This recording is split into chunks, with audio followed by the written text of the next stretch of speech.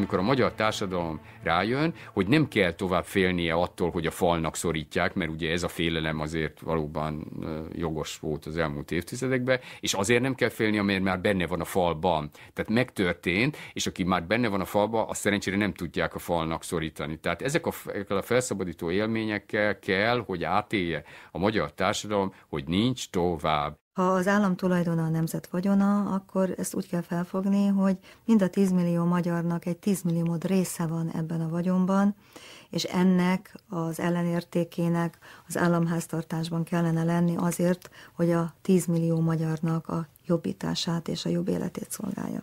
Mai áron akkoriban legfeljebb 12 milliárd dollár volt az az összeg, amit többleterőforrásként bevontunk a 70-es években. Mégis mai áron fizettünk ezért a 12 milliárd dollárért csak kamatként 170 milliárd dollárt, az adóságunk pedig 100 milliárd dollárral több, ami azt jelenti, hogy ezért a 12 milliárd dollárért eddig 270 milliárd dollárt fizettünk ki. Az Európai Uniótól felvett hitelt körülíró kölcsönszerződésnek van egy melléklete, és az elérhetőség kedvéért említem, hogy a hármas számú melléklet 11. pontjában szerepel egy olyan nyilatkozat, Draskovics igazságügyi miniszter aláírásával, amely gyakorlatilag az ország meglévő összes nemzeti vagyonba tartozó vagyontárgyát elzálogosítja. Átadtuk Magyarország pénz piacát. Átadtuk a magyar emberek és vállalatok finanszírozásának a lehetőségét és jogát. Átadtuk az ország pénzkészlete feletti rendelkezést. Átadtuk a tőke irányításának a lehetőségét. Egy olyan szervezeti körnek, amelyik tetszés szerint alakítja az ország adósságállományát. Ha saját magát eladósítja, akkor azt mondja, hogy az ország adósodott el. És ezzel a politikát az orránál fogva vezeti olyan célra, amit ő szeretne elérni. Az érthetetlen, hogy az elmúlt húsz évben, hogy megszabadulván a külföld a külhoni elnyomóktól, hogy engedhette meg ez a nép, hogy olyan vezetők kerüljenek hatalomra, akik a népüket cserbehagyva kiszolgáltották a globális tőkének, a globális hatalomnak. A nemzet felszámolása és az ország gazdasági bekebelezése a cél olyan hatalmak részéről, akik számunkra egyelőre talán megfoghatatlanok, nem látjuk át pontosan, hogy kik állnak mögötte. Vissza kell szerezzük a multinacionális tőke helyi rezidenseitől az államunkat, a közösségek államát. Nemzeti vezetőkre van szükség, nemesekre, magyar nemesekre van szükség. Olyan emberekre, akik hazájukért, nemzetükért áldozatot képesek hozni, lemondani akár a vagyonukról, és úgy, ahogy eleink tették, akár az életükről, ha a nemzet azt megkívánja ki kell törnünk minden, bármi, bármi történik, és bármilyen áron, ki kell törnünk a hazugságnak és a félelemnek ebből a megbénítő mozzanatából. Ez a legelső. Nem többségi döntés, hogy eladjuk a földet, vagy a vízrendszert, annak működtetését, a gáz, stb. Nem többségi kérdés. Nem népszuverenitás kérdése. Ezt mi csak gondozásba kaptuk magunk és mások javára az igazság érvényesítésére az egész világból tehát maximum két éven belül eldől, hogy a választások utáni új kormány a régi, bukó, megbukóban révő rendszer utolsó kormánya lesz, vagy a reményeink szerint felépülő új rendszer első kormányává válik.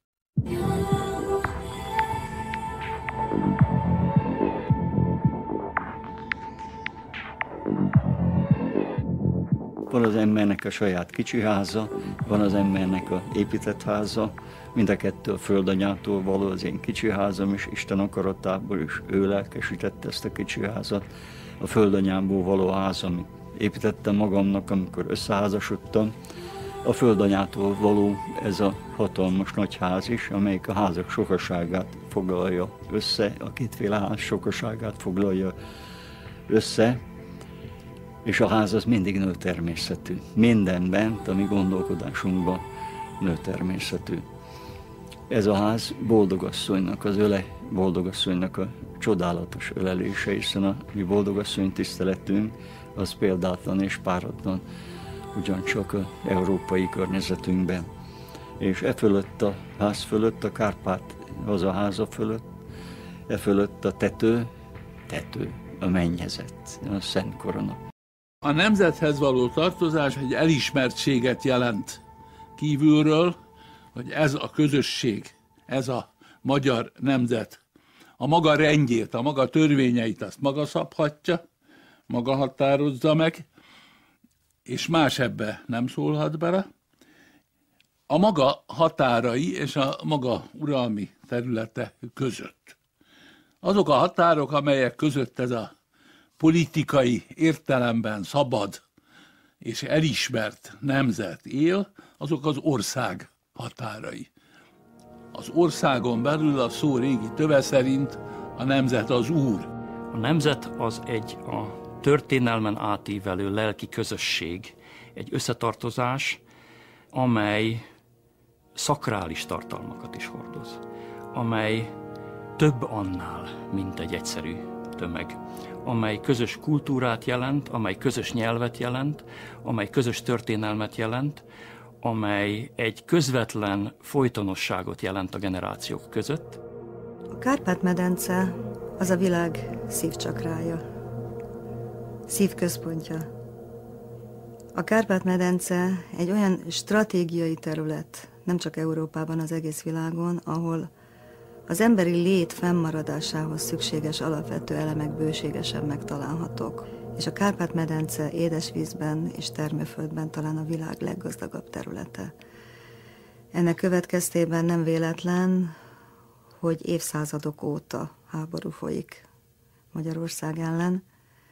Nem csak a nemzet felszámolása területén, hanem az ország területének a megszerzése, a gazdasági potencia megszerzése érdekében az emberiség ős története a magyarság története. Itt csak a magyar szóval kell csinyán bánni, mert nem régi elnevezés, nem túl régi. Csak egy példát mondok, hogy minden székely magyar, de nem minden magyar székely. Minden palóc magyar, de nem minden magyar palóc, és így tovább. Tehát itt csak arról van szó, hogy a, a megyeri urakról, a magyari uralkodó rétegről, mert a honfoglalás is csak egy nagy, nagy csapatáthelyezés volt, arról neveztetett el a Kárpát-medence lakossága, mikor az avar uralkodó réteg volt itt, akkor ez avaria volt. Mikor hun uralkodó réteg, akkor Hungária, azaz Nagy Hunnia, de volt hu, ö, Nagy ö, Hunország, de volt Hunnia is, az kis Hunország. Volt a Lajtán túl is egy hunnia, meg a, a Kaukázus alatt is egy hunnia. Tehát tisztább azt mondani, hogy az ős nép, ős nyelv, ős műveltség. Ez az ős hagyomány Nimrodhoz vezeti vissza a kezdetet, a úgynevezett skita népek eredetéhez, ugyanis a mi népünk, és ezt támasztja alá nem csak a hagyomány, hanem a történetkutatás is, a skita népek örököse, etnikailag is, kulturálisan is, és küldetésileg is. Ezeknek a népeknek volt egy óriási feladatuk, amelyet egyébként az Ószövetségben is olvashatjuk. Ez a feladat az igazság, az igazságosság képviselete a világban, kiállás az igazságosságért, az igazság rendjének védelme és helyreállítása. És ennek a történelemnek az utolsó szakasza az, amelyet Árpád és István általi államalapítások, vagy államalapítás betetőz. Én úgy gondolom, hogy a keresztény értékrendűség, a mi őshagyományunknak a beteljesítője, kiteljesítője, nincs szakadás. Tulajdonképpen az egyik megértési alapja a mi történelmünknek, hogy hogy védjük az igazságot, hogy tudunk helytállni magyarként ebbe a világba, másrészt pedig, eh, hogy próbálják javainkat és lelkünket megtörni, elrabolni. Nemzet, amely a Kárpát-medencében él, egyesek szerint több száz ezer éve, mások szerint csak több tízezer éve, az oktondiak szerint mintegy 1100 éve, a magyar nyelvű népesség, akiknek a átörökítő állománya, fehérjéje, a gének hordozzák mind azt a tudást, amit tudott tudásnak nevezünk, ami az isteni tudás, ez pedig nem más, mint az Istenhez, a természethez való hűség, és a rámért feladat maradéktalan teljesítése, akkor is, hogyha ez az életébe kerül. Erről szól a magyar történelem, az elfeledett is, az elhomályosított is, meg a látható történelem is. Az első 500 évben, tehát nagyjából Szent Istvántól Mátyás királyig terjedő téridőben a Szent Korona szakrális Magyarországa egy olyan történelmi konstrukció volt, amely képes volt arra, amire egyébként az előző ezer években minden emberi mű, hogy felismerje önmagát, és képes legyen megfogalmazni és megvédeni a saját létét, stratégiai érdekeit. Az azóta lezajlott 500 év, fél ezer év viszont kisebb-nagyobb megszakításokkal valójában egy folyamatos hanyatlás története. Az aranybulla, az ősiségi törvény és más dokumentumok alapján lehet látni, hogy a magyar állam a Szent Koronattan alapján távol tartja a pénzügyi birodalmak hódító agresszióját, amely egyrészt ugye vagyont szeretne, másrészt a szakralitás ellenfele. A magyar állam által a hagyományunk, a Szent Korona és minden ősi és keresztény hagyomány által meghatározott szakralitás ellenfele. Európában először Magyarországon második András korában szétválasztják az államkincstárt a királykincstártól. Tehát a királyt eladósítani nem azt jelenti, hogy az államot is eladósítjuk. Azzal, hogy Károly Róbert megteremtette az arany nemzeti magyar valutát, a magyar állam nem csak katonailag, hanem pénzügyileg is kivédte.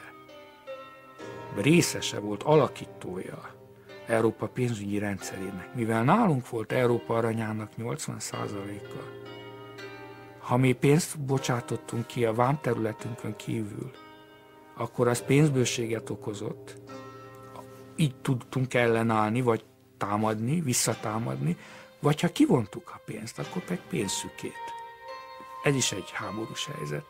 Tehát úgy tudtunk Magyarország ellenállni, hogy az arany és a, nemzeti, a nemzet vagyonak részeként a Szent Korona tulajdonába vált.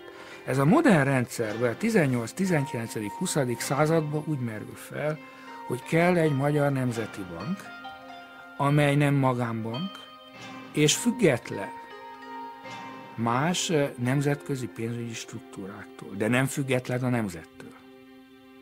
Tehát ez egy nagyon kardinális kérdés. A nagy változás mégis Mátyás király halála után történik. 1490 után Magyarországra beköltözik az üzleti világ, az üzleti szellem.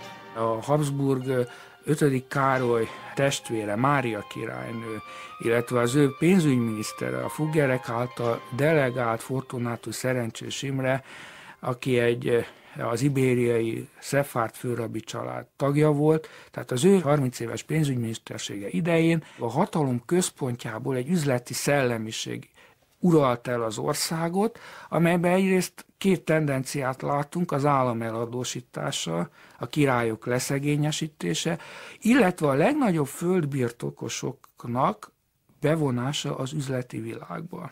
De milyen hatalomról van szó, a fuggerek nem csak a medicieket teszik tönkre, hanem egyesítik Spanyolországot, és elkezdődik a nagy gyarmatosítás. 500 év, öt birodalom, a török, a Habsburg birodalom, aztán időben és térben is a harmadik, ugye Hitler harmadik birodalma, a szovjet birodalom, és, és most ez a különös, az eddigiektől eltérő, de nem kevésbé pusztító birodalom, ami talán a globális hatalomgazdaság birodalmának lehet nevezni. A nehéz kritikus helyzet 1848 után áll be, hogy hogy lehet ugye végre a magyar államot és a magyar földet és nemzeti vagyon privatizálni, megszerezni külföldi bankok és magánosok részére. 1848 és 49 is erről szólt. Amint eltörölték az ősiséget, és felmerült a Magyar Nemzeti Bank kérdése, megindult az intervenció. Végül is ugye tudjuk, hogy végződött a szabadságharc, megszüntették 1849-50-ben a magyar államot. A belsőleg és területileg felosztották eh, közigazgatásilag, az területi felosztás szinte kísértetiesen hasonlít a trianoni határrendezéshez. Évszázadok óta, immár több mint másfél évszázada, egy szellemháborút folytattak a magyarság ellen. Ebben kiemelkedő szerepük volt a Habsburgoknak, a mai napig kiemelkedő szerepük van a Habsburgoknak. A Habsburg pusztítás módszeres és előre elhatározott volt, Hajnautól kezdve Ferenc Józsefen keresztül a legutóbbi Habsburgig, aki ma Európa parlamenti képviselőségre készül. A magyarság kettős, furcsa léte azt hiszem, hogy ott érhető legjobban tetten, hogy egy fantasztikus magyar főnemesi család, a Széchenyiek Magyar Tudományos Akadémiát alapítanak, és pár év múltán ezt is a Habsburgok átveszik, és a magyarság ellen fordítják. És ma is a magyarság ellen munkálkodik a Tudományos Akadémia azon része, amely a történelem és irodalomtudományokkal, művészetekkel foglalkozik. Egy népnek a lelke, az identitása, az önmeghatározása történelmi hagyományok és történelmi gyökerek, történelmi ismeretek nélkül lehetetlen. Nagyon jól tudták, hogy hol tudják gyengíteni a magyart, hiszen megpróbálták elvenni, átvágni az eredendő gyökereket, az ős történetet elvenni, elvenni az identitástudatot,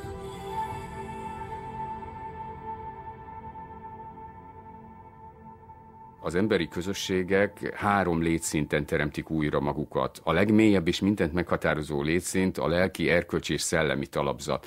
Erre épül rá az adott emberi közösség fizikai teste, amit statisztikailag általában a népesedési illetve az egészség, a fizikai egészség folyamataival szoktunk megragadni, és csak a harmadik, a legfelsőbb szintje, és a legjelentéktelenebb szintje az, amit gazdaságnak szoktunk nevezni, ami nem más, mint az anyagi szükségletei, hiszen anyagból is vagyunk, az anyagi szükségleteink kielégítésének a világa.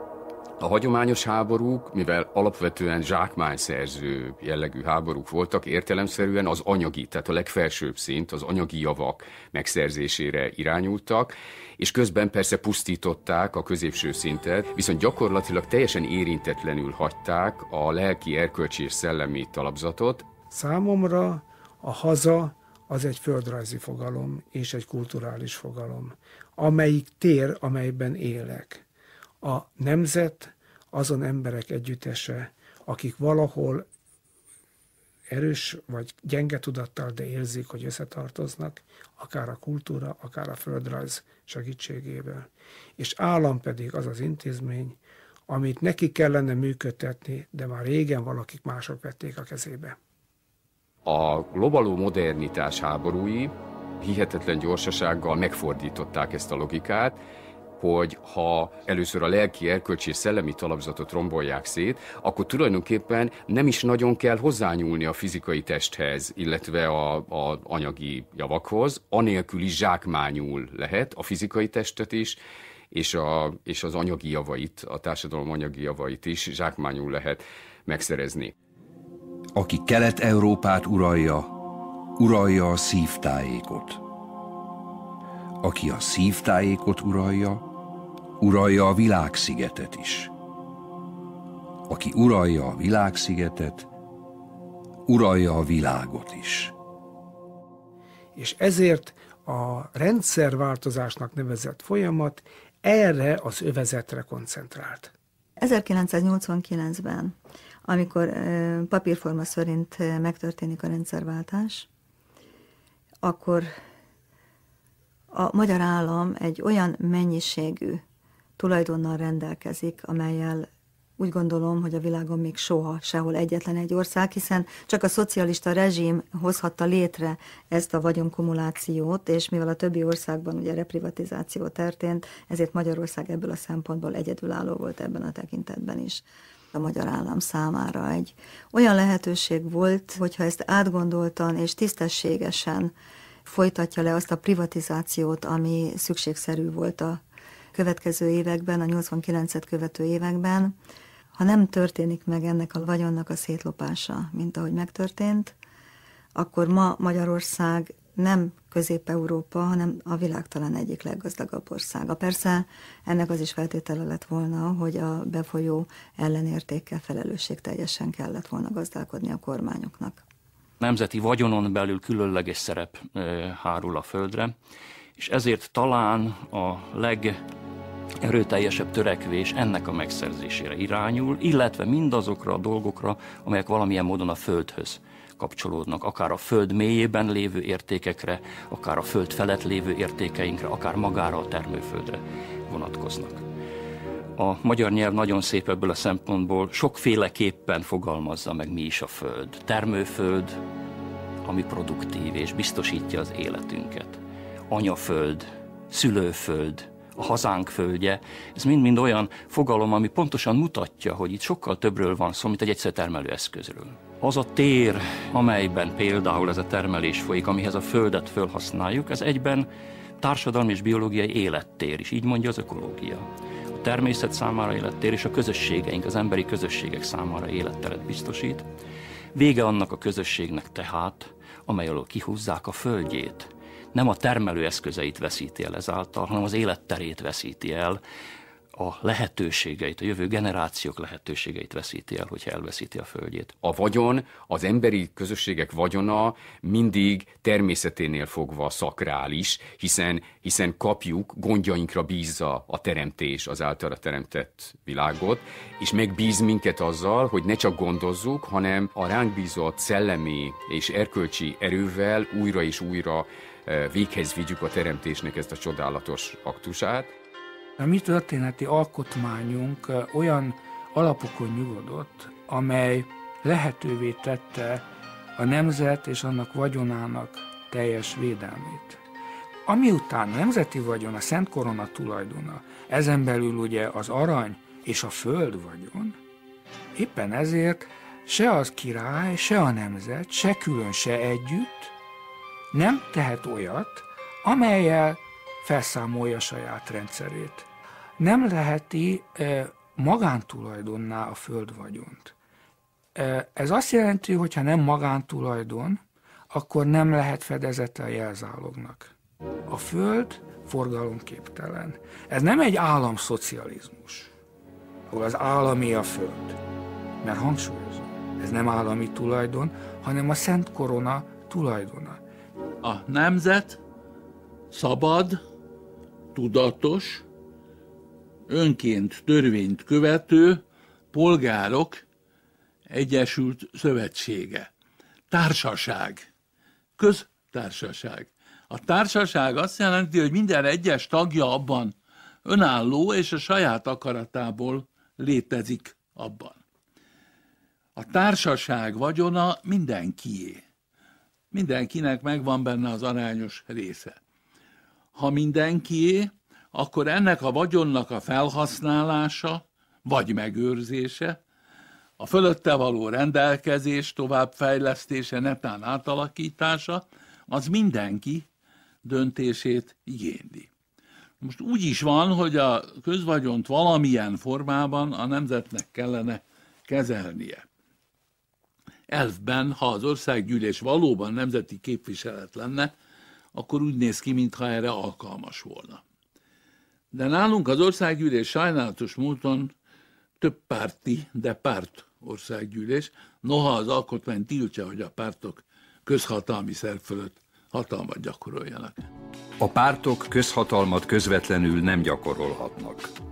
Ennek megfelelően egyetlen párt sem irányíthat semmiféle állami szervet. A pártok és a közhatalom szétválasztása érdekében törvény határozza meg azokat a tisztségeket, közhivatalokat, amelyeket párttagja vagy tisztségviselője nem tölthet be. Ezért nincs olyan állami vagyont kezelő szervezet, amely valamilyen formában a nemzeti közalak akaratnak alá lenne vetve, illetőleg, amit a nemzet ellenőrizhetne. Nem állami vagyonról beszélünk természetesen, mert az államnak nincs vagyona. A nemzet, mint közösség, az államra bízta a saját vagyonát, hogy jó gazda gondosságával gondoskodjon erről a vagyonról, forgassa ezt a vagyont, és a közjavára hasznos teljesítmények megvásárlására vagy biztosítására fordítsa ezt a vagyont. Ezért adjuk össze a pénzeinket, ezért halmoztuk fel a vagyont, hogy működtesse, a közjavára működtesse az állam a saját intézményeit, és segítse a közösségeket. A mi tragédiánk az, hogy szellemi kincseinknek nincs hivatalos védője, hanem ebben az idegen érdekeket kiszolgáló társaság a tudományvilága. Tehát az juthat be oda, aki ezt a feladatot vállalja. Bakai Kornélt idézem, népünk eredete és Kárpát-medencei állama című írásából, a tudományos hatalom, itt értendő, a, tehát a magyar tudományos hatalom, általában magyar ellenes, általában arra törekszik, hogy a nemzetet összetartó közösség többé már ne jöhessen létre, kerítse hatalmába a fogyó magyarságot a közöny, az önfeladás, a tehetetlenséget garantáló butaság. Hadd idézek Glatz Ferenc, a Magyarok Krónikája című jó vastag mű szerkesztője volt, tehát az ember azért szerkesztő felelős, hogy mi jelenik ott meg. Ebben a kilencedik oldalon található legjobb kiadásból kivették már, a magyar embernek évszázadnyi időbe tellett, amíg a lovaglástól elgörbült lábával megtanulta az eke utáni egyenes testtartást, és leszokott arról, hogy gyönyörűségét lelje az asszonyok és a gyermekek lemészárlásában. Szóval ezzel ö, kell szembenéznünk, hogy ilyen a magyarokkal szemben a magyar tudományos hatalom, mert a tudományos hatalom szó szerint idegen és aljas érdekek kiszolgálói. Egy belső háború is folyik, magyar a magyar ellen folytat háborút. A Teremtő Isten az embert különös helyzetbe hozta, hiszen rábízta a földi mindenséget. A Kárpát-medence különleges helyzetben van, hiszen itt az asszonyok termékenyek, a férfiak nemzőképesek, és ezért a Kárpát-medencei magyarság meg 32 szerezte magát, miközben az angolok, a németek, a franciák 8-10-szeresére növekedtek az elmúlt 1100 év alatt úgy, hogy Magyarországot pusztította tatár, török, osztrák, német, orosz eh, háborúk és a világválság, de összességében nem pusztult el annyi magyar, mint amennyit 1956-tól mi orvosok elpusztítottunk. Több mint 7 millió magzatunkat öltük meg. Én ezt tartom a legnagyobb gyalázatnak, hiszen uh, ennél nagyobb bűnt ember önmaga ellen, egy nemzet saját nemzete ellen nem tud elkövetni az a Nyugat-Európából világhódító útjára induló klasszikus kapitalizmus, amely az azt megelőző évszázadokban, tehát a 20. századot megelőző három-négy évszázadban brutális kegyetlenséggel felszámolta az összes tradicionális társadalmat a világ minden szegletében, és a maga profit mechanizmusának vetette alá.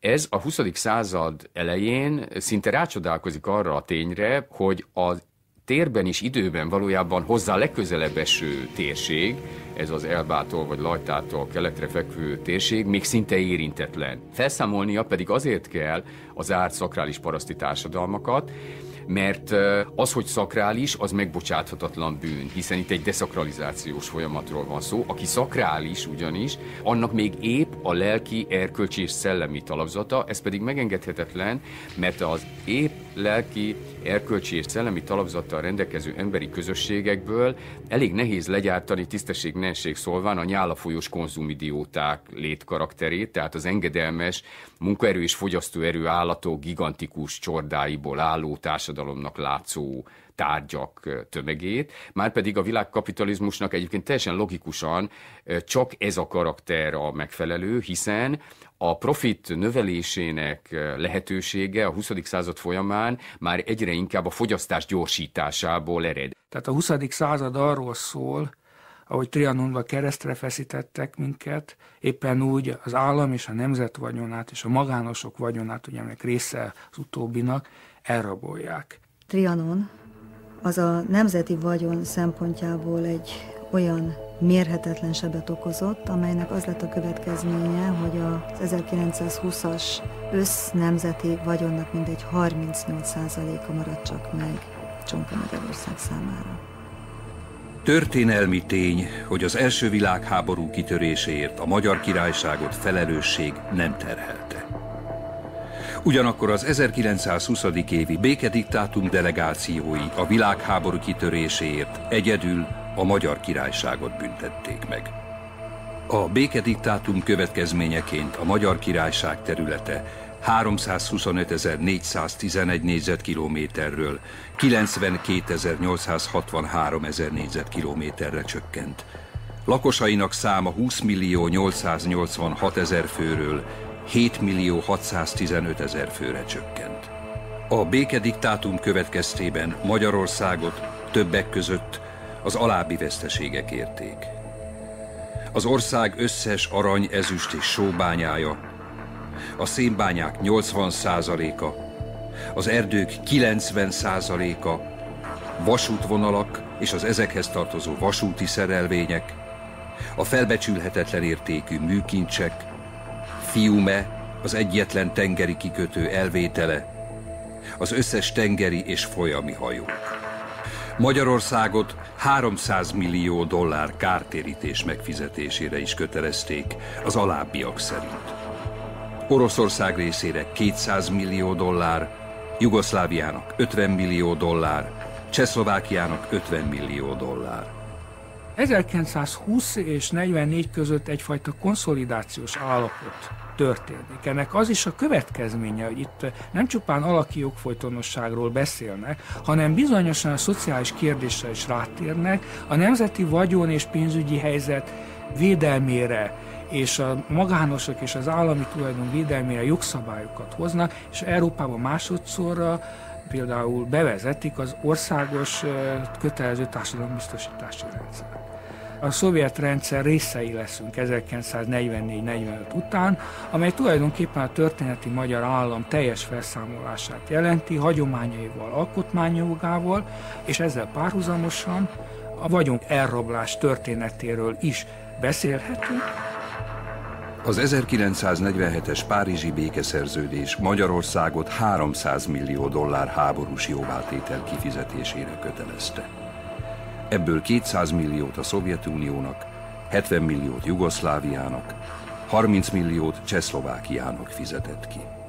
Az államosítás nem más jelent, mint a magánosoktól állami hatalommal, diktatórikus eszközökkel elvonják a hatalmat, illetve megakadályozzák, hogy a kis tulajdonosok egy középrétegű tulajdonosi rendszert építsenek ki Magyarországon. 1956 egy lehetőség lett volna, óriási lehetőség, mert ott is felvillan az, hogy a magyar út nem a nyugati liberális monetáris diktatúra útja, és nem is a szovjet kommunista diktatórikus rendszer egypárti útja, hanem a magyar hagyományok tovább élése, nemzeti és a népi hagyomány ismételten való találkozását jelentette volna.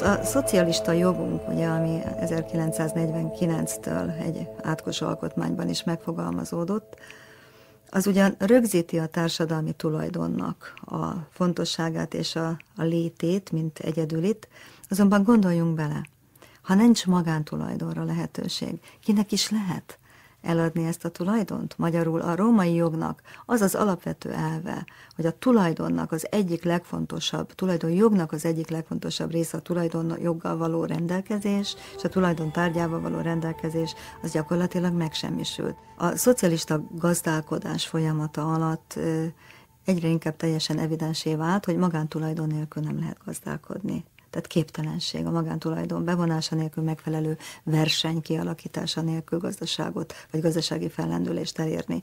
Ezt már az 1967-es új gazdasági mechanizmus is bizonyítja. Trotsky mondta 20. század elején már, hogy majd, ha vége lesz a szovjet hatalomnak, mert hogy vége lesz, akkor azok az elvtársak, akik éppen akkor vállalatigazgatók egyszer csak rájönnek arra, hogy nem elég vállalatigazgatónak lenni, de vállalati részvényeket is birtokolni kell. 1964-ben Kádár János azt a nyers rezsőt és Tardos Márton bízza meg annak a gazdasági mechanizmus reformnak a kidolgozásával, amelyet aztán 1968-tól be is vezettek, és am, ami ö, részben legalábbis fontos hozzájárulás volt ahhoz, hogy az ezt követő évtizedben kétségtelen Magyarországot nem alaptalanul nevezték a tábor legvidámabb barakjának. A másik fontos mozzanat 88 áprilisában, mikor még Kádár János az MSZNP főtitkára, Grósz Károly már a miniszterelnök, és benyújtanak egy törvénytervezetet, amit aztán a parlament el is fogad. Röviden mindenki csak társasági törvénynek nevezi. Ez a törvény határozta meg ugyanis az alapvető kereteit annak a annak a folyamatnak, amelyik lehetővé tette azt, hogy Magyarországon 88. szeptemberétől kezdve bárki legyen szó jogi vagy magánszemélyről, természetes személyről, vagy külföldiről, bármilyen tőkével, akár több milliárd dolláros tőkével is tőkés magánvállalatot hozhat létre. Ez azért döntő jelentőségű, mert akkor is teljesen elkerülte a magyar társadalom figyelmét, és az elmúlt 20 valahány évben is teljesen elkerülte a magyar társadalom figyelmét, hogy a kapitalizmus, tehát a neoliberális globálnyik új kapitalizmusát, a régi 1945 előtt létező kapitalizmushoz képest új kapitalizmusát valójában nem az új rendszer, hanem a régi rendszer urai vezették be. 1982-ben beléptünk a valuta alapba, beléptünk ugye a világbankba, ebbe a két ikerszervezetbe, amelyik ugyan az ENSZ-nek a zászlaja alatt működik, de már a létrejötte ö, olyan struktúrájú volt, hogy mik az ENSZ New Yorkba költözött, ezek a szervezetek Washingtonba. És bizony a washingtoni politikának a végrehajtó szervezeteiként működnek, és ezt nem kell valakinek így sejtenie. Zsezsinszki ezt pontosan meg is mondja, igen, ezek bizony azért vannak. Volt nekünk egy Fekete Jánosunk, akinek az volt a tézise, amit a politika teljes egészében elfogadott, hogy vegyük fel a hitelt, mert majd az úgyis elinflálódik, és az gyakorlatilag nekünk nagyon jó lesz, lesz bőven pénzünk. És bizony vettük föl, vettük, vettük föl a hitelt, és eljutottunk oda, hogy amikor 11 milliárd dollár után visszatekintettünk, akkor nem láttuk, hogy 10 milliárd dollár hova ment. 1 milliárd dollárra lehetett körülbelül elszámolni. És bizony a 80-as évek végére eljutottunk oda, hogy olyan 20-22 milliárd dollár körül volt az ország teljes adóssága.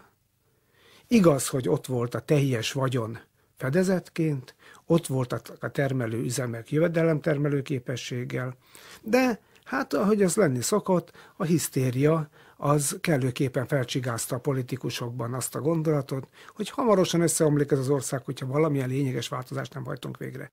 Kádár János 1984-ben adott arra utasítást, hogy ez a folyamat elkezdődjön, és ennek a folyamatnak a prominensei között olyan személyeket találunk, mint Sárközi Tamás vagy Martonyi János, amelyik ugye politikai és ideológiai értelemben is felhívja arra a figyelmet, hogy az igazi politikai törésvonalak azok hol is húzódnak a magyar társadalomban. Azt, azt hiszem ma már 20 év elteltével mindenki látja, hogy semmiképpen nem a jobb és baloldal között, hanem sokkal inkább a nemzet stratégiai érdekeit felismerni képes és felismerni akaró, és annak érdekében, azok megvédelmezése érdekében tenni akarók, illetve azok között, akik valamiféle kollaboráció vagy komprádor magatartás segítségével feladatukat döntően, ezek attól még lehetnek rendkívül nagy tudású és tehetséges emberek, feladatukat inkább abban látják, hogy kiszolgáltassák a nemzet vagyonát, értéktereit a, a minket függésbe tartó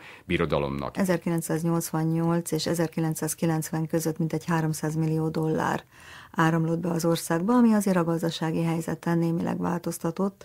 Az utolsó kommunista kormány nem hozta meg azokat a állami kontrollt vagy felügyeletet biztosító szabályokat, amelyek a rablógazdaságot vagy a rablógazdálkodást valamilyen módon megállíthatták volna.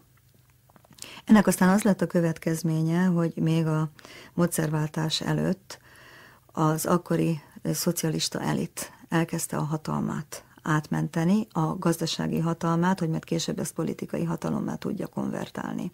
Az első szabad választások 1990 tavaszán amikor a magyar társadalom hosszú idő óta valóban először kap lehetőséget arra, hogy politikai értelembe véve is döntsön arról, hogy nemzetének vezetését milyen politikai erőkre és személy szerint kikre bízza, és ekkor a magyar társadalom kis híján, mert nem sokon múlott, azt a politikai erőt teszi közvetlenül, kicsivel lemaradva második erővé, azt az SDS, tehát a Szabaddemokraták Szövetségét, amely, és ez ugye Tardos Márton 64-es szereplése óta valójában szépen leírható évben folyamatosan szervezi annak a feltételeit, hogy hogyan juthatnának a magyar társadalom legalapvetőbb vagyontárgyai, értékmezői minél olcsóbban, ha lehetséges ingyen, az újabb birodalom a 89-90-től minket függésbe tartó globális hatalomgazdaságként megfogalmazható birodalom birtokába. 300 év két teljesen különböző történelmi kor, és mégis hihetetlen sok párhuzam. Keleti hatalom Magyarország fölött, vagy Magyarország nagy része fölött, egy nyugati hatalom törekszik a megszerzésére. És a kelet-nyugati hatalomváltásba az ország beleroppan. Az 1680-as években, úgy, mint az 1980-as években, Európa népei, különösen a németek, na meg a pápaság komolyan hozzáfogott ahhoz, hogy visszaszorítsa Európából a törököket. És akkor komoly szervezkedéssel, komoly hadseregeket állítottak ki. Az aszkétikus pápa, Ince pápa rendkívül sok pénzt fordított erre a célra. Ebben az időszakban ez az alkudozás komoly konferenciák formáját is öltötte, ahol Magyarország jövőjéről tárgyaltak, és például 1684. augusztusában összejöttek olyan emberek, akiknek az volt a céljuk, hogy felosszák Magyarország jövőbeli javait egymás között, és ezért a konferenciának az első és legfontosabb határozata az volt, már pedig a volt tulajdonosoknak a javakat vissza nem adjuk. Ezt a párhuzamot megtaláljuk 1983. februárjában megjelent Mozgó Világ nevezetű folyóiratban, ahol Tardos Márton közölte, igen, a javakat, az állami javakat felosztjuk, de a régi tulajdonosoknak vissza nem adjuk. 300 év különbséggel. És 1684-ben, ha egyszer azt mondták, hogy már pedig a magyarok ne kapják vissza, akkor bizony, amikor a különböző eh, hadtestek Európa különböző részéről érkezett eh, szerencselovagok, így is mondhatnám, eh, végigpusztították a területet, a pusztaságot mégiscsak valakinek oda kellett adni. És akkor bizony két csapás érte az országot. Egyrészt az új tulajdonos, akinek vajmi magyar elkötelezettsége volt, másrészt pedig hogy azt a területet be kellett telepíteni. És hozta azokat az idegeneket, akikben megbízott, és természetesen távolította el a magyarokat, akikben nem. És 1690-ben létrejött a Neo Aquistica nevezetű bizottság Bécsben, amelyik mint egy vagyonügynökség működött, hogy eldöntse, hogy kik kapják meg a javakat, és milyen ellenértékért. Neo Aquistica 1690-ben. A vagyonügynökség 1990-ben. És mind a kettő működött, így úgy, és befejezte működését 1707-ben a Neo Aquistica, és, és 2007-ben a vagyonügynökség. 300 év távlatában, 17 év működés akkor, 17 év működés manapság, mind a kettő teljesen azonos programmal a hazait kiszorítani, és az idegent pedig besegíteni. A magyar társadalom pedig ebben az időszakban sorra, rendre, barátként üdvözli párás szemekkel a magyar társadalom halálos ellenségeit, illetve gyanakvással, berzenkedéssel szemléli azokat, akik mindössze segíteni szeretnének rajta, vagy akár megmenteni szeretnék. Már 1986-ban, 87-ben, aztán 88-ban és így tovább sorra jöttek létre azok a törvények, amelyek Magyarországon szó szerint bevezették a kapitalizmust. Tehát 1987-ben létrehoztuk a, a kétszintű bankrendszert, amikor már üzleti bankok jöttek létre részvénytársasági formában. Előtte bevezettük a társasági törvényjel a részvénytársaságok a korlátozott korlátolt felelősségi társaságok és egyéb ö, különböző társulási formák működésének minden jogi alapját.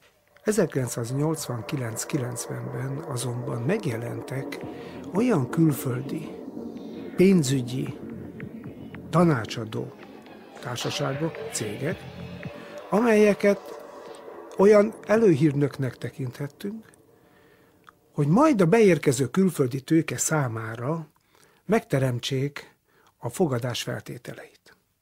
Azaz, a magyar termelő javakból kiválasszák azokat, amelyek értékesek, akár mint piaci pozíció, akár mint benne rejlő vagyon, és ők tudják, milyen a kapitalizmus, ők majd megtanítanak bennünket, és bizony, hogy ne vesztegessünk időt, mindjárt tolba mondták azokat a törvényeket, amiket mi majd bevezetünk, és ezáltal megteremtjük a jó gazdasági fejlődési feltételeket. A pénzügyminisztérium a 1989 évi kiinduló vagyon 1800 milliárd forintban jelölte meg.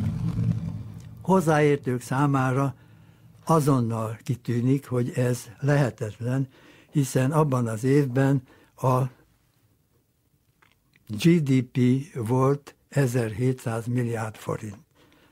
A kezdő közgazdászoknak is illik tudni, hogy egy forint termelői vagyonnal nem lehet egy forint GDP-t előállítani. A nemzeti vagyon, mint fogalom, az 89 előtt ismeretlen volt. 89 előtt egységes állami, illetőleg társadalmi tulajdonról beszélünk, amely szocialista államnak egyáltalán nem volt az fontos, hogy bármifajta felmérést vagy számadást is készítsen az állami tulajdonba rablott módon került felhalmozott vagyonról. Sajnos Magyarország sem az 1980-as évek végén, sem azóta most már 20 éve nem készített javairól leltárt, és ha egyszer nem tudja, hogy milyen van, akkor azt sem tudja ellenőrizni, hogy jól adta el, egyáltalán eladta-e, esetleg nem más módon tűnt el a nyilvántartásból, illetőleg a nem létező nyilvántartásból. Tehát Magyarország úgy él és működik, hogy a hitelezői, az állam hitelezői nem kérik számon az államháztartás mérlegét. Képzeljük el, hogy amikor adósságunk van, azt az államháztartásban kell nyilvántartanunk, azaz az egy mérleg tétel. És ma Magyarországnak nincs államháztartási mérlege. Azaz nincs hova bevezetni az adósságot. És azért nincs mérlege, mert egy államháztartási mérlegben alapvető elem a javak összessége. És a javakat azóta sem összesítettük. Az adóságok tömege ma 100 milliárd dollárral nagyobb, mint 30 évvel ezelőtt volt. Ha most ehhez még azt is hozzátesszük, hogy ráadásul csak az anyagi értelembe vett nemzeti vagyon is kb. 150 milliárd dollárral csökkent ebben az időszakban, és a kettőt nyugodtan össze is adhatjuk. Tehát ez azt jelenti, hogy kb. 250 milliárd dolláros vagyonvesztés ment részben úgy végbe, hogy eltűnt a nemzeti vagyon, részben pedig úgy, hogy növekedett az adóságunk, tehát megterheltek minket, ha úgy tetszik, jelzálog van a maradék vagyonunkon is és, és hasonló nagyságrendű, szintén kb. 100-150 milliárd dolláros veszteség van abban is, hogy tehát ma az átlagkereset az alacsonyabb, mint a 30 évvel ezelőtti. Ez így összességében csak erre a 30 évre nézve körülbelül egy olyan 400 milliárd dolláros veszteség, ami gyakorlatilag megfelel a mai anyagi értelemben, teljes anyagi értelemben vett egész nemzeti vagyonnal. Vagyis Magyarország csak az anyagi értelembe vett nemzeti vagyona is ebben az időszakban nagyjából a felére csökkent. Ez a dráma pedig kizárólag azért következhetett be, mert az előző időszakban sikerült szétroncsolni, szétmorzsolni a magyar társadalom értető erőforrásait, azokat a mély rétegeket, ahol lelki, erkölcsi és szellemi újrateremtésének azokat a hatalmas felhajtó erőit tudta volna mozgósítani a magyar társadalom, amely minden nehézség ellenére valójában sokkal sikeresebbé tehette volna anyagi, a fizikai testét érintő újratermelési folyamataiban és lelki folyamatait tekintve is. Amikor az országot a 80-as években, különösen Fekete János a Nemzeti Bank alelnöke működése folytán eladósítottuk, akkor az országban lévő devizatartalék az jó részt külföldiek betétje volt. De ez a betét a Nemzeti Bankban valakié volt, aki szabadon rendelkezett vele. Hát ezeket úgy kell elképzelnünk, hogy ezek a betét elhelyezők pontos politikai célra tették azt az elhelyezést. Majd kellőképpen benyújtjuk a számlát, és eljött a demokrácia hajnala, éppen hogy elindul a nagyszerű pártok irányította új parlamentáris munka, miközben ők megjelennek és közlik, hát akkor te most, aki megnyerted a választást MDF, most az ellenzékkel vagy köt szerződést, vagy ebben az országban kőkövön nem marad, mert mi elviszük a pénzünket, és akkor megnézhetitek magatokat. És akkor az történt, hogy a Magyar Demokrata Fórum az SDS-szel kötött egy paktumot úgy, ahogy ezek a bankárok elvárták, miközben folytak a koalíciós tárgyalások a kisgazdákkal, meg a kereszténydemokratákkal, azokkal nem sikerült megállapodni, az ellenzékkel viszont megállapodtak. Tehát Magyarország kormányzása, azaz parlamentarizmusa abban a pillanatban elvesztette demokratikus jellegét, amikor megalakult. Amire felhívom a figyelmüket, az, hogy Magyarország jelenleg politikai, bizalmi és gazdasági jellegű válság határon van a világban. Ami azt jelenti, hogy olyan felelősség hárul reánk, hogy vagy meg tudjuk most oldani, vagy tudunk élni az eséllyel, vagy minden lehetősége megvan a teljes bukásnak és pénzügyi összeomlásnak. Az elmúlt héten a hét vezető ország vezető bankárai jelentek meg nálam, több gazdasági szakember volt hivatalos. Tájékoztatást kaptunk arról, hogy az elmúlt hónapokban a kelet-közép-európával szembeni bizalmatlanság keretében ők több millió dollárt vontak ki a magyar bankokból. Így a Nemzeti Bank rendkívül nehéz helyzetbe került. Az elmúlt héten ez fokozódott. Nekünk olyan magatartást és politikai helyzetet kell teremteni, ami azt mutatja, hogy Magyarország kormányzóképes lesz. Teljes politikai stabilitást kell bizonyítanunk. Nekünk olyan magatartást kell mutatnunk, ami a parlamentáris kormányzást stabilá teszi. Ennek érdekében koalíciós tárgyalásokba bocsátkoztunk, de még nem jutottunk befejezéshez. A kisgazdapártban csak most zajlott a nagy választmány, a kereszténydemokrata párton belül vannak nézetkülönbségek. Személyi kérdésekben sem történt megállapodás. Nem tudunk kész kormánylistát felállítani. Az előbb elmondott kritikus helyzetben folytattunk tárgyalást a legnagyobb ellenzéki politikai szervezettel, a Szabaddemokraták Szövetségével, az elnök felhatalmazása alapján, annak érdekében, hogy eredményt érjünk el a kormányozhatóság érdekében.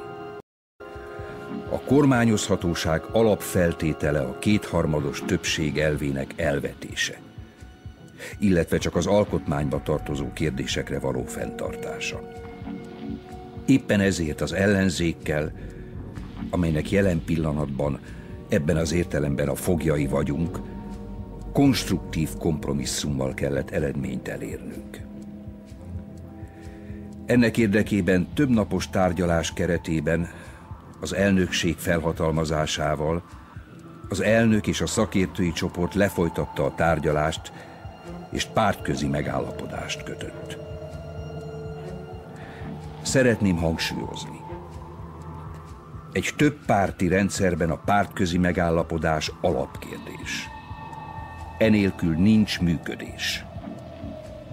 Ezért kellett politikai megállapodásra jutnunk az SZDSZ-szel mindazokban a kormánypárti kérdésekben, amely bennünket kormányzó képessé tehet. Ez az egyetlen módja annak, hogy Magyarország kormányozható legyen.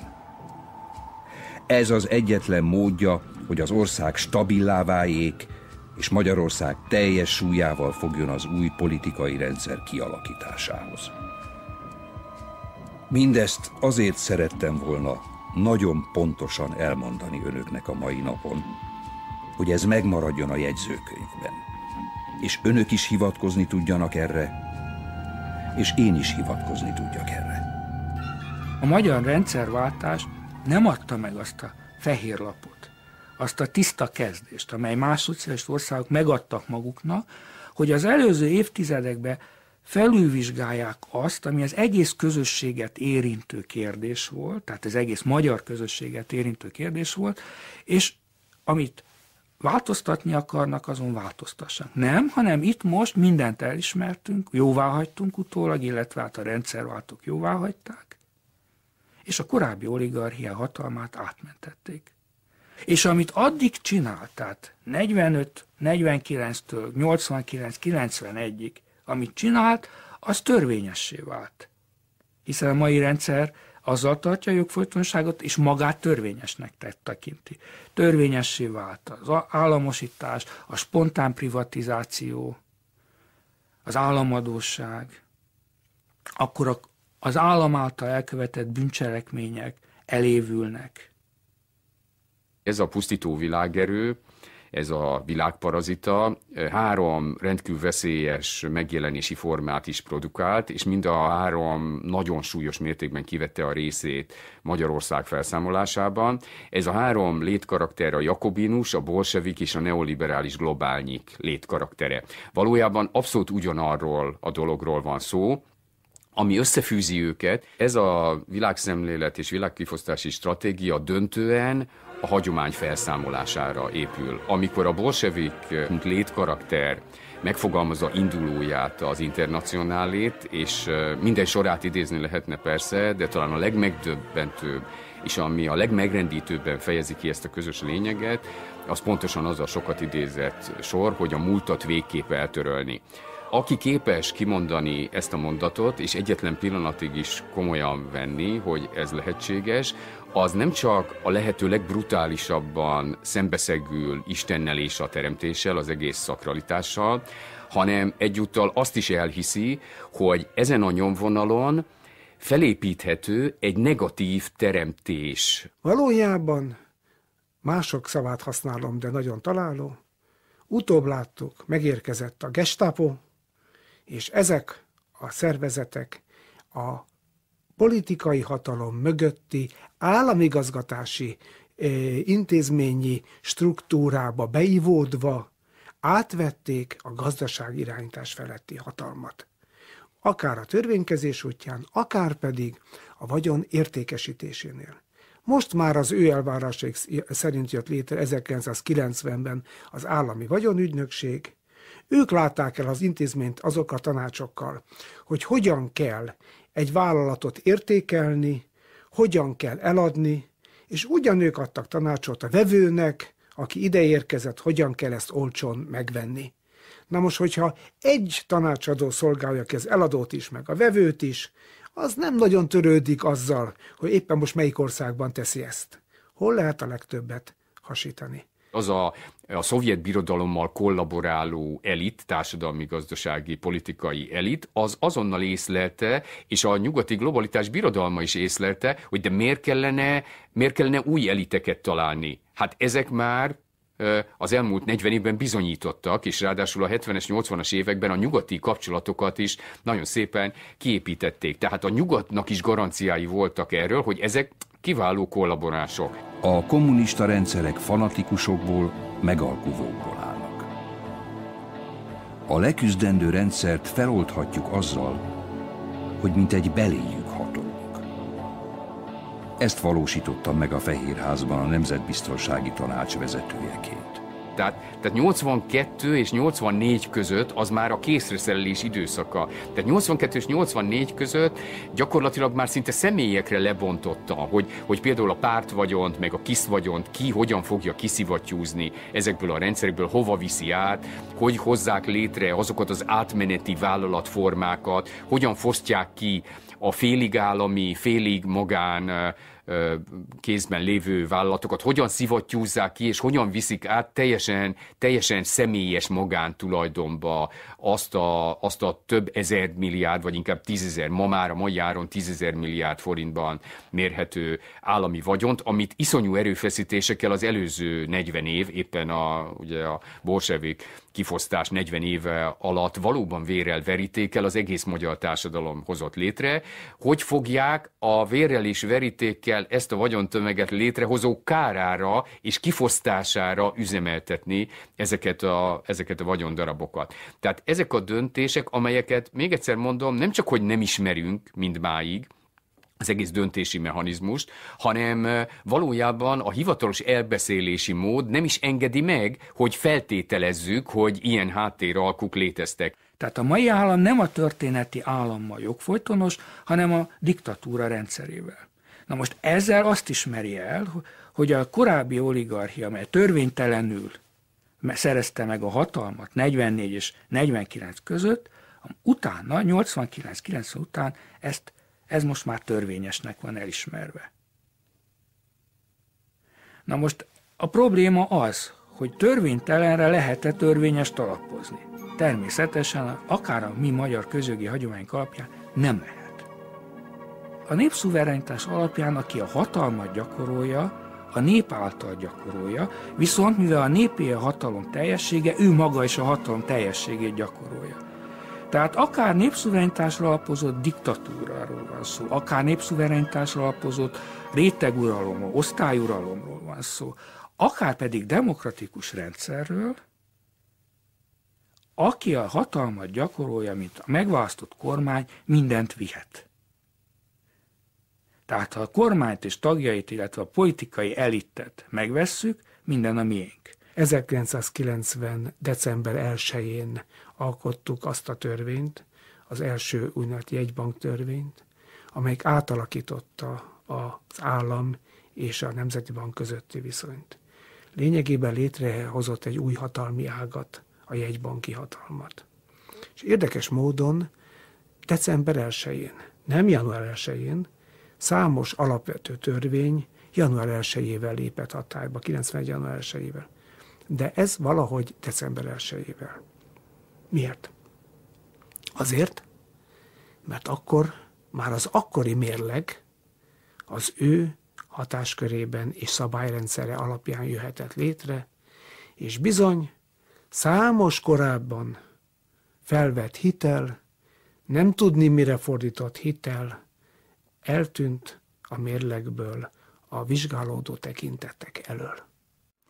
És ezt a korszakot, ami 1988 és 1990 között zajlott, ezt hívjuk a spontán privatizáció, vagy másnéppen apport privatizáció időszakának, amely e, tulajdonképpen teljesen jogszerűen történő folyamat volt, azonban azt eredményezte, hogy az ország úgynevezett működő vagyonának jelentős százaléka, mint egy 60-70 százaléka rendkívül leértékelt módon, vagy külföldi bankok támogatásával, olcsó hitelek segítségével már akkor magánkezekbe került.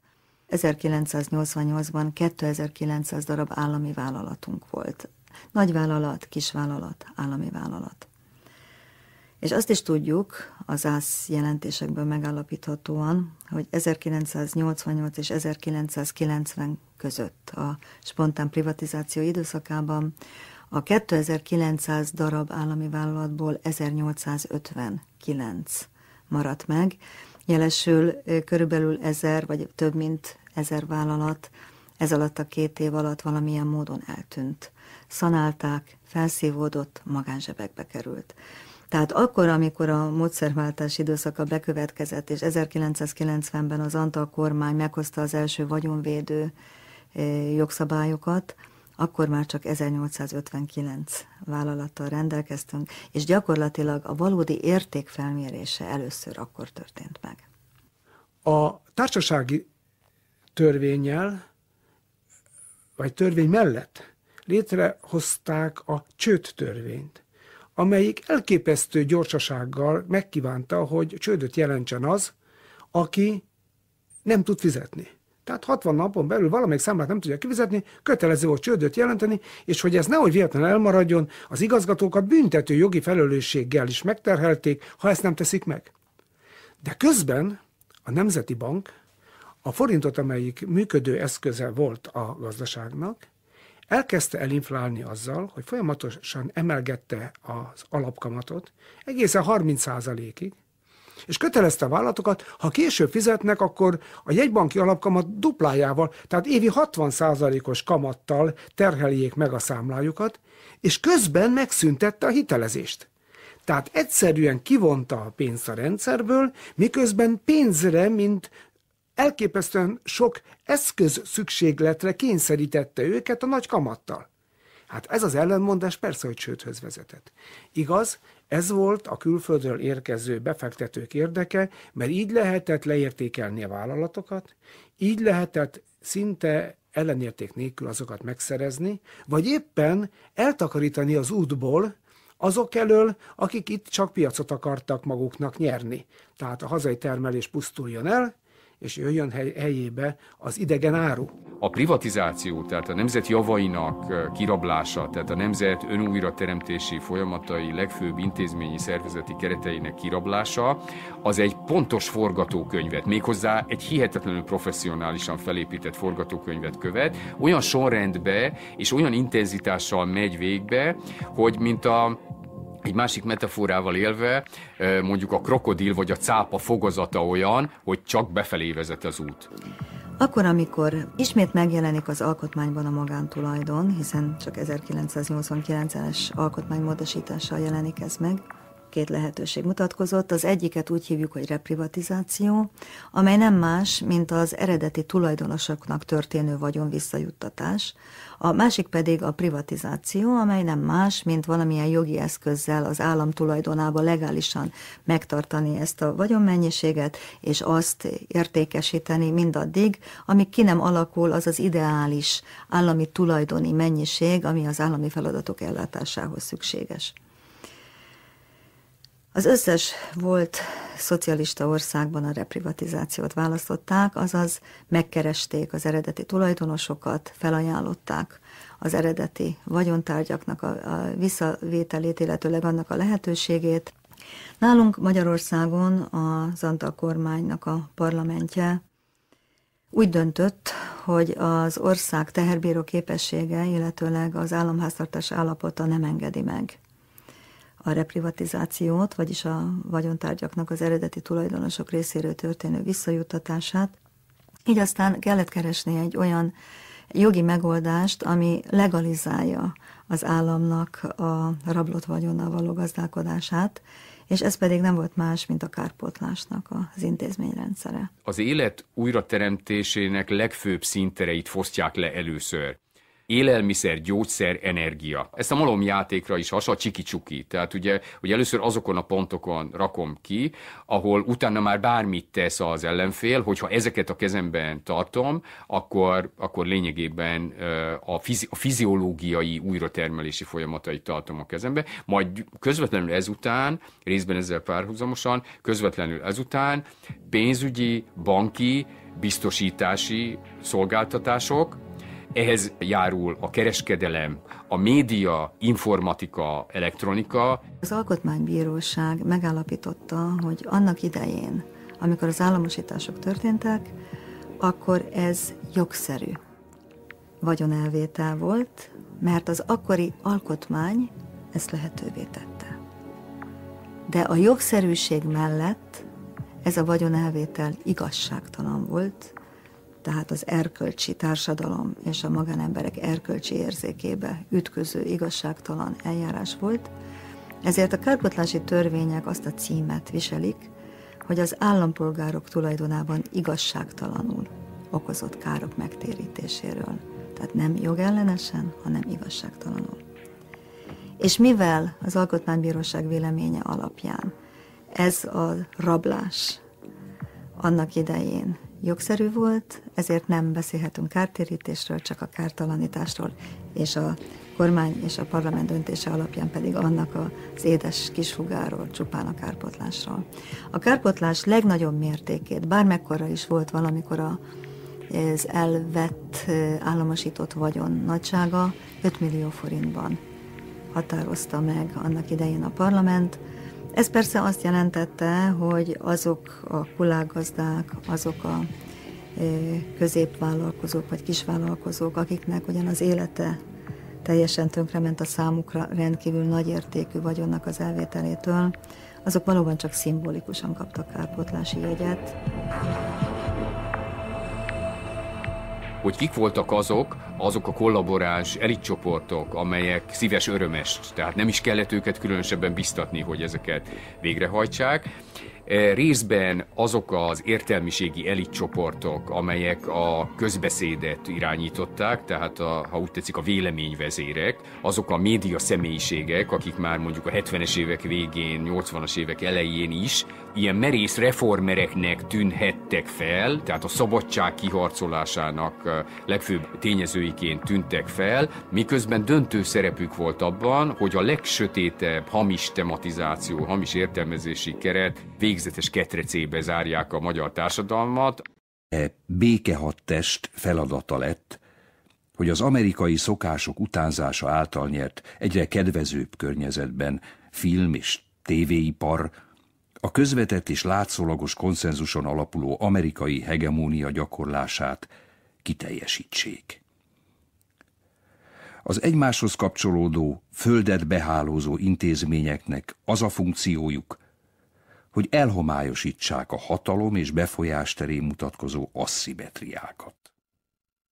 A másik fontos elitcsoport, hát azok a nagyvállalati menedzser rétegek, akik egyetlen pillanat alatt átlátták, nyilván megkapták a súgásokat a külső térből is, meg a belső hatalmi térből is, hogy felismerték azt a lehetőséget, hogy hogyan nyúlt le azt a vállalatot, ahol szocialista vállalatvezetőként minden, mindent megismertél, és pontosan tudod, hogy micsoda mesés profit lehetőségeket rejt, hogy hogyan mutasd be ezt veszteséges, teljesen szanálásra ítélhető ócskavas tömegnek, hogyan vidd le az árát szinte nullára, akár nullára is, ha mégse nulla, akkor hogyan, milyen konstrukciókban vegyél fel látszólag olyan hiteleket, amelyeknek a visszafizetése majd persze annak a terhére történik, tehát gyakorlatilag ez azt jelenti, hogy, hogy amikor elkezd üzemelni, akkor mondjuk egy havi profitodból vissza tudod fizetni az egész árát, és onnantól kezdve már tiszta haszon a további, tiszta haszont jelentenek a továbbiak. Tehát körülbelül ilyen konstrukciókban bizonyult végzetesen